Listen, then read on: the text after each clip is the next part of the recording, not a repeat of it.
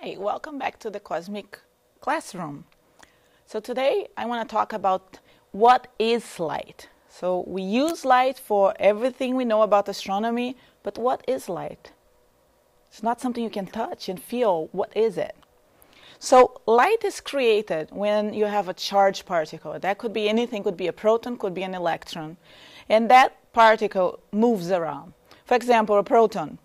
If a proton is sitting still, nothing happens. Or if a proton is moving at constant velocity, nothing happens. But if you shake that proton around, it emits light. So every time you have a charge that's being shaken around, you're going to emit light.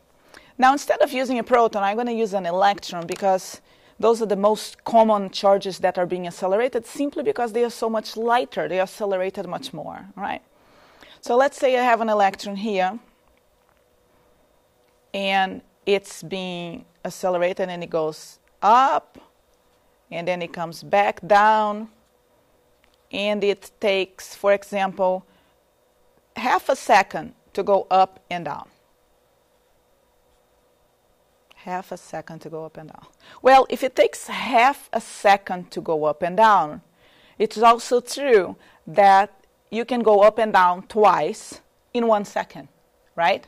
So in other words two cycles, cycles per second. All right. Now, if it's a charged particle move, moving up and down, it will emit uh, a wave of light or, or, photon of light, as you want to think about it. It's better to think about uh, a wave, uh, a wave, the wave nature of light in this case. So it will move, it will emit a, a wave that has a period of 0.5 seconds, that, that repeats itself every 0.5 seconds.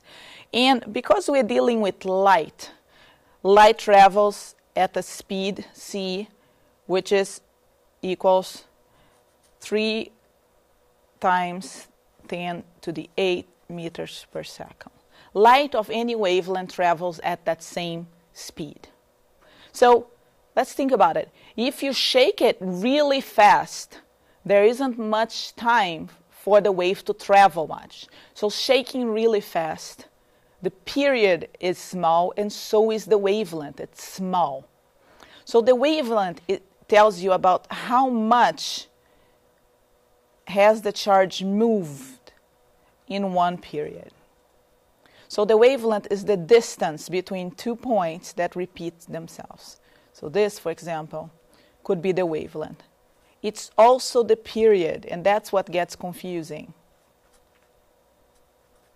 Because sometimes it's the wavelength, and sometimes I want to tell you that's the period. The two things are related because, after all, how much it travels, the wavelength depends on for how long it travels. And in order to in, in order for you to make sure that you understand that, you need to remember that the velocity is distance traveled over time. In other words, if the velocity is constant, equals c, you can say that the distance is c times the time. The time is the period. C is the speed of light. And this special distance we call the wavelength, all right? So I'll just rename things here. This is called, the distance now becomes the wavelength. Has a special name. Wavelength equals the speed of light times the period. How long it takes. Greater, more time, more, more space is covered. Less time, less space is covered. There's one more thing that we haven't mentioned yet, um, which is called the frequency. I said earlier that if the period is half a second, you will be able to complete two cycles, two ups and down per second. This is called the frequency. Frequency is the inverse of the period. Large period, small frequency small period, large frequency. They are they are waves of light, electromagnetic waves of all different frequencies or periods or wavelengths. You can determine the color of light, the type of light, by either its wavelength or its frequency or its period. They are all related because the wavelength lambda is c times the period. Or the wavelength is c times 1 over the frequency. So all these things are related. For one wavelength, you have one period and one frequency associated with it.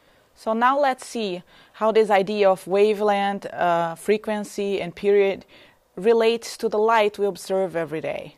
So if we look here in the slide, I've put some uh, there is a spectrum of different colors here. You see that the light can be determined by either its wavelength or its frequency or its period. In this case, what's showing here is the wavelength. This is 400 nanometers or 400 times 10 to the minus 9 meters, 500 nanometers. So now you know that about 55, um, 550 nanometers is green light, right? Red light is about uh, 60, 650 nanometers here to 700 nanometers. So the way we perceive light of different wavelengths is different. So if we know the wavelength, to sh show you a use of the equations that we talked that we mentioned before. So the wavelength in this case is given. So I'll pick green, which is 550 nanometers right there. So if the wavelength is 550 nanometers, that's equivalent to 550 times 10 to the minus 9 meters or 5.5 times 10 to the minus 7 meters. The speed of light is a constant, it's known. It's the speed of light for all light. Light that you can see, light that you can't see. Radio, X rays, infrared, anything. It's always the speed of light. So if we know the relationship between the speed of light, wavelength, and period, as we talked about before, for those of you that like to think in terms of equation, the equation is c equals lambda over t. We can then solve for the period, and, and note that then the period is the wavelength divided by the speed of light. We determine then that the period is 1.8 times 10 to the minus 15 seconds. It's very small. That's a very short period of time. So this charge is moving really, really fast. So if I want to think in terms of the frequency instead, I'll just do 1 over that. Let's see how many oscillations will fit within one second. So the frequency is 1 over the period, which then, so it's 1 over this number here, which is 5.45 times 10 to the 14 hertz. Hertz are one over second, the unit of frequency. And if you don't trust my math, go ahead and check yourself. But think about what this is telling you. Telling you that a charge is moving five times 10 to the 14 at each second. It's incredible. It's moving really, really fast, right? Light, bluer light, X-ray, gamma rays, shorter wavelength lights will have higher frequencies, will be oscillating even faster, while shorter, while longer wavelength light, like infrared and radio, will have smaller frequencies. I hope this helped, and I'll see you next time.